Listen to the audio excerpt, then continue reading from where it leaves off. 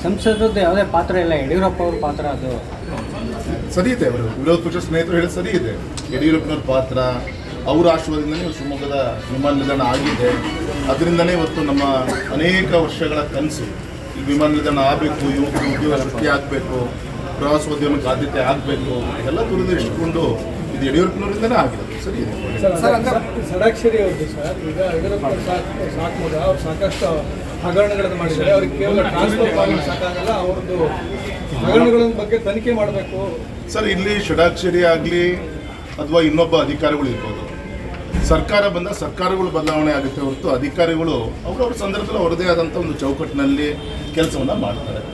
ಗೌರವಾನ್ವಿತ ಯಡಿಯೂರಪ್ಪನವರ ಒಂದು ಕಾಲಾವಧಿಯಲ್ಲಿ ನಮ್ಮ ಷಡಾಕ್ಷರಿ ಇರ್ಬೋದು ಅಥವಾ ನಮ್ಮ ಗೌರವಾನ್ವಿತ ಅಧಿಕಾರಿಗಳು ಇರ್ಬೋದು, ಅವರೆಲ್ಲರ ಸಹಕಾರದಿಂದ, ಯಾಕಂದರೆ ಎಕ್ಸಿಕ್ಯೂಟಿವ್ ಬಾಡಿ ಅವರು ಅವರ ಅವ್ರ ಸಹಕಾರದಿಂದಲೇ ಇವತ್ತು ಶಿವಮೊಗ್ಗ ಕ್ಷೇತ್ರದ ಅಭಿವೃದ್ಧಿ. ಹಾಗಾಗಿ ಅದು ನಮ್ಮೆಲ್ಲರ ಒಂದು ಉದ್ದೇಶ ಒಳ್ಳೆ ಅಧಿಕಾರಿಗಳಿಂದ ಒಳ್ಳೆ ಕೆಲಸ ತೆಗೆದುಕೊಳ್ಬೇಕೇ ಹೊರತು ಈ ರೀತಿ ದ್ವೇಷದ ರಾಜಕಾರಣವನ್ನು ನಾವು ಯಾವತ್ತೂ ನಮ್ಮ ಜೀವನದಲ್ಲಿ ನಾವು ಮಾಡಿಲ್ಲ. ಆ ರೀತಿಯಂಥ ಕೆಲವು ನಡವಳಿಕೆಗಳು ಇತ್ತೀಚೆಗೆ ನಡೀತಾ ಇದೆ. ಸಂಬಂಧಪಟ್ಟಂಥ ಸಂದರ್ಭದಲ್ಲಿ ಅಧಿಕಾರಿಗಳು ನೋವನ್ನು ಬೇರೆ ಬೇರೆ ಸಂದರ್ಭದಲ್ಲಿ ವ್ಯಕ್ತಪಡಿಸಿದ್ದಾರೆ. ಈ ಉದಾಹರಣೆಗೆ ಏಳನೇ ವೇತನ ಆಯೋಗದ ಬಗ್ಗೆ ಪರಿಷ್ಕರಣೆ ಮಾಡೋ ಬಗ್ಗೆ ಚರ್ಚೆ ನಡೀತಾ ಇದೆ. ಮೊನ್ನೆ ನಮ್ಮ ಬೊಮ್ಮಾಯಿಯವರು ಮುಖ್ಯಮಂತ್ರಿಗಳಿದ್ದಾಗ ಮಧ್ಯಂತರ ಒಂದು ವರದಿಗೆ ಶಕ್ತಿ ತುಂಬುವಂಥ ಕೆಲಸ ಮಾಡಿದ್ರು. ಈಗ ಇವತ್ತಿನ ಸರ್ಕಾರ ಮತ್ತದನ್ನು ಪೋಸ್ಟ್ಪೋನ್ ಮಾಡುವಂಥ ಪ್ರಯತ್ನಗಳು ಮಾಡ್ತಾ ಇದ್ದಾರೆ.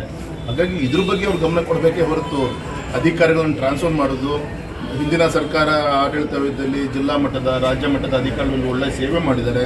ಒಂದು ಸ್ವಾತಂತ್ರ್ಯ ಬಂದ ಮೇಲೆ ಒಳ್ಳೆ ಒಂದು ರೋಲ್ ಮಾಡೆಲ್ ಆಗಿ ನಮ್ಮ ಶಿವಮೊಗ್ಗ ಕ್ಷೇತ್ರ, ಮೊನ್ನೆ ನಮ್ಮ ಅಮೃತ ಯೋಜನೆಯನ್ನು ಕೂಡ ಹತ್ತು ಸಿಟಿಗಳಲ್ಲಿ ನಮ್ಮ ಅಮೃತ ಯೋಜನೆಯಲ್ಲಿ ಇಲ್ಲಿ ಒಳ್ಳೆ ರೀತಿಯಂಥ ಒಂದು ಶಿವಮೊಗ್ಗ ಕ್ಷೇತ್ರ ಕೆಲಸ ಆಗಿದೆ ಸರ್ಟಿಫಿಕೇಟ್ ಕೊಟ್ಟಿದ್ದಾರೆ, ಸರ್ಕಾರ ಕೊಟ್ಟಿದೆ. ಹಾಗಾಗಿ ಈ ರೀತಿಯಂಥ ಒಂದು ಯಾವುದೋ ಟ್ರಾನ್ಸ್ಫರ್ ಮಾಡೋ ಮುಖಾಂತರ ಬದಲಾವಣೆ ತರಲಿಕ್ಕೆ ಆಗಲ್ಲ.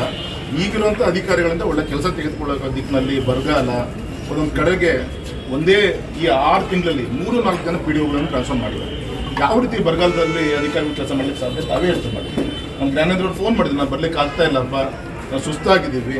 ಆರು ತಿಂಗಳಲ್ಲಿ ಒಂದೊಂದು ಪಂಚಾಯತ್ ಕೇಂದ್ರದಲ್ಲಿ ಮೂರು ನಾಲ್ಕು ಜನ ಈ ರೀತಿ ಪಿ ಡಿ ಒಗಳನ್ನು ಟ್ರಾನ್ಸ್ಫರ್ ಮಾಡಿದ್ರೆ ಯಾವ ರೀತಿ ನಾವು ಬರಗಾಲದಲ್ಲಿ ಬಡವ್ರಿಗೆ ಕೆಲಸ ಮಾಡೋಕ್ಕೆ ಸಾಧ್ಯ?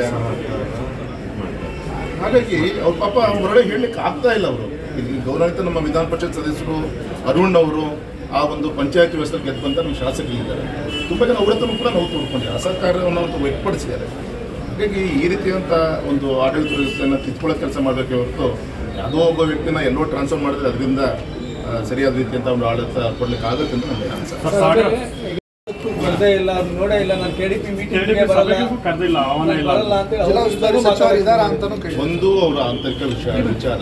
ನಾನು ಹೇಳಿದ್ನಲ್ಲ ಒಬ್ಬ ಅವ್ರ ಪಕ್ಷದಲ್ಲಿ ಅವ್ರ ಪಕ್ಷದ ಅನೇಕ ಸ್ನೇಹಿತರು ನನ್ನಂತೂ ಕೂಡ ಮಾತಾಡಿದ್ದಾರೆ. ಇವತ್ತಿನ ವ್ಯವಸ್ಥೆಗಳ ಬಗ್ಗೆ ನೋವು ವ್ಯಕ್ತಪಡಿಸಿನ ಅಂತ. ನಾನು ಹೆಸರಿಲ್ಲ ವಿಚಾರ ಪಡಲ್ಲ. ಮತ್ತೆ ಹೇಳ್ತಾರಲ್ಲ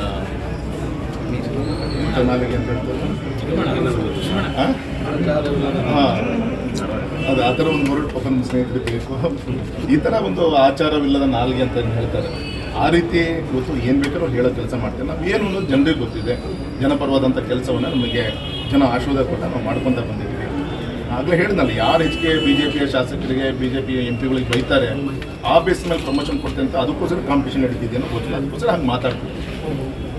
ಕಾಂಗ್ರೆಸ್ ಶಾಸಕರಿಗೆ ಕನ್ನಡಿಗರ ಮೆಚ್ಚಿನ ನಿಮ್ಮ ನ್ಯೂಸ್ ಏಟಿನ್ ಕನ್ನಡ ಈಗ ವಾಟ್ಸ್ಆಪ್ನಲ್ಲಿಯೂ ಲಭ್ಯ.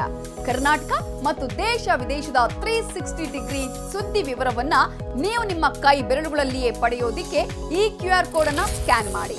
ನಮ್ಮ ಚಾನೆಲ್ ಅನ್ನ ಫಾಲೋ ಮಾಡಿ ನೋಟಿಫಿಕೇಶನ್ ಆನ್ ಮಾಡಿ.